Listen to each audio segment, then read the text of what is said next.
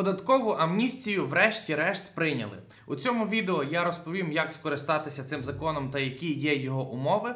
Кому цікава ця тема, обов'язково додивляйтесь відео до кінця. Кінці ролика я поділюся своєю думкою традиційно про цей закон, а також розповім про одну важливу річ, на яку особливо варто звернути увагу. Привіт! Мене звати Богдан Янків, я є адвокатом, надаю юридичні послуги бізнесу та приватним клієнтам. Щоб отримувати безкоштовні юридичні консультації, слідкуйте за моїми роликами. Контакти для звернення до мене за платними послугами є на цьому відео. 15 червня депутати проголосували за законопроект, який дає старт податковій амністії. Це законопроект 5153, Він вже остаточно прийнятий. Якщо коротко, то цей закон дає можливість задекларувати кошти, які не були задекларовані, сплатити маленьку ставку податку та не отримати ніякого штрафу за те, що вони раніше не були задекларовані. Оригінал тексту законопроекту, як завжди, залишаю в описі під відео, щоб ви могли з ним попрацювати самостійно. А зараз детально проаналізую для вас цей закон. Почнемо з того, кому взагалі може бути цікава податкова амністія, а кому взагалі можна не звертати увагу на цей закон. Якщо у вас, наприклад, офіційно задекларовано за весь час 1 мільйон гривень. А паралельно у вас активів на 2 мільйони гривень, скоріш за все, вам закон про добровільне декларування знадобиться, оскільки в такому випадку якраз виникає питання: у вас задекларовано офіційно 1 мільйон гривень, активів на 2 мільйони гривень, де взявся ще 1 мільйон, за який ви купили всі ваші активи. Якраз закон про добровільне декларування має дати відповідь, звідки взялися ці гроші. А саме розглядається такий варіант, що ці гроші були не задекларовані, але зараз ви їх декларуєте, і таким чином держава буде мати документи про сплату податків зі всіх ваших активів. І насправді це є досить важливо. Протягом всього цього відео буду розказувати, чому саме це має значення. Очевидно, що суму реальних своїх активів ви знаєте дуже добре, а от суму активів, яку знає податкова по відношенню до вас, ви можете не знати. Але це можна дуже легко перевірити. І я вже це розповів у своєму іншому ролику. Якщо вам це актуально, запрошую його переглянути за посиланням у підкасті.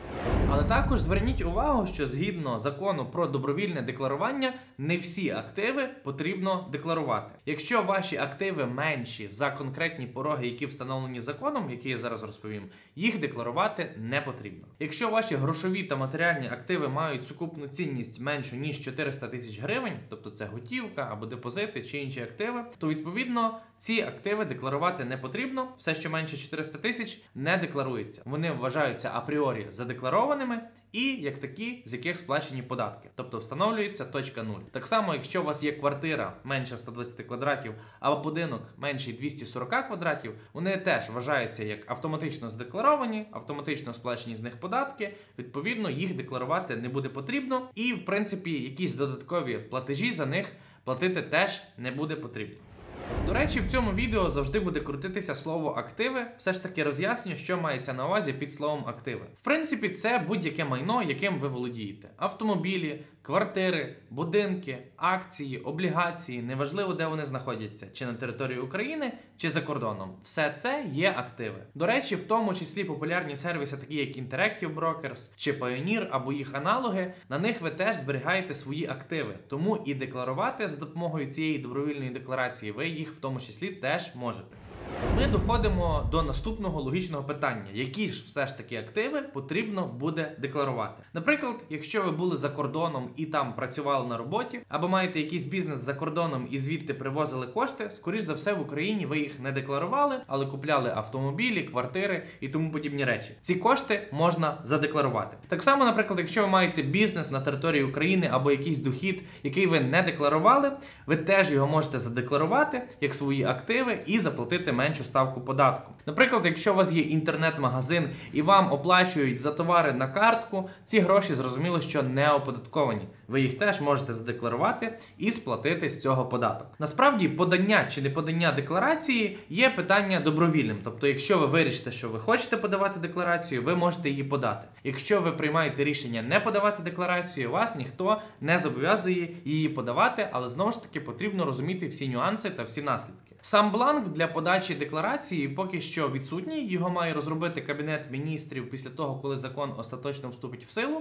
І відповідно, коли буде бланк документу для участі в податковій амністії, я обов'язково про це розповім, тому слідкуйте за каналом. Крім того, про податкову амністію є насправді багато питань, відповіді на які з'являться аж тоді, коли вже будуть перші декларанти, тобто перші люди, які подали декларацію і зіштовхнулися з якимись проблемами. Але якщо у вас є якісь питання по відношенню до податкової амністії, обов'язково пишіть їх в коментарі, ставте цьому ролику лайк. Найцікавіші питання я перечитаю і обов'язково дам відповіді в наступних роликах.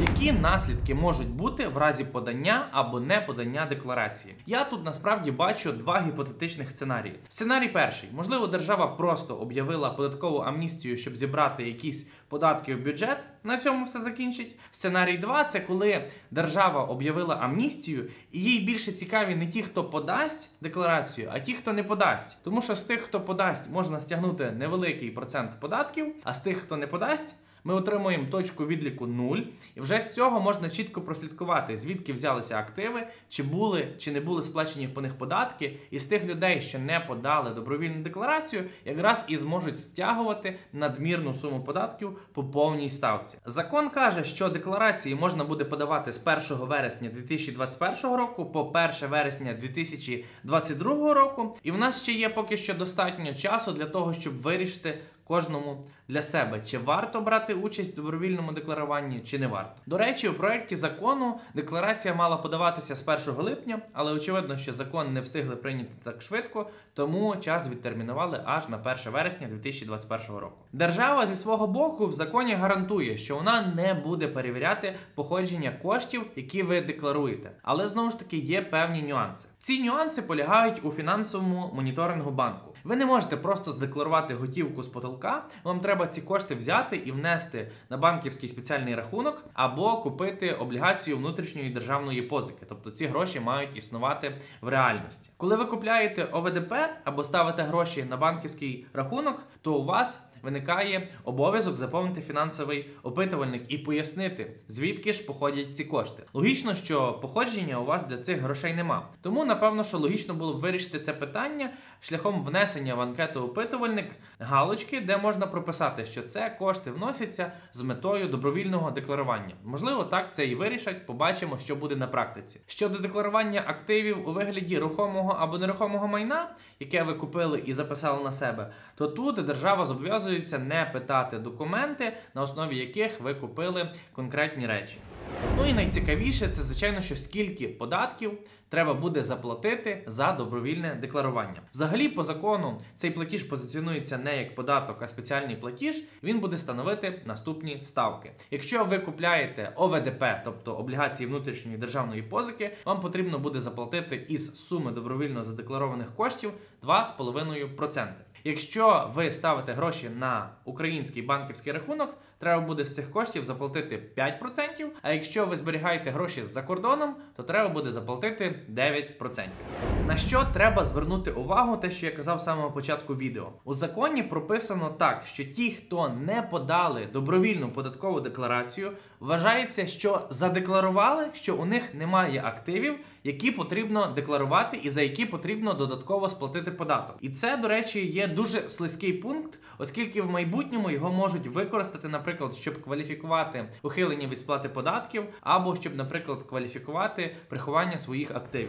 Сподіваюсь, це відео для вас було корисним та актуальним. Ви змогли дізнатися нюанси про податкову амністію у 2021 році. Я впевнений, що до неї є ще багато питань, і я обов'язково буду знімати про це ролики, тому слідкуйте за каналом. Якщо вам потрібні платні послуги або консультації адвоката, контакти для звернення до мене є на цьому ролику. Ставте відео лайк, підписуйтесь на мій YouTube та телеграм канал, ставте дзвіночок, щоб не пропустити нові класні відео. Побачимось з вами в наступних відео.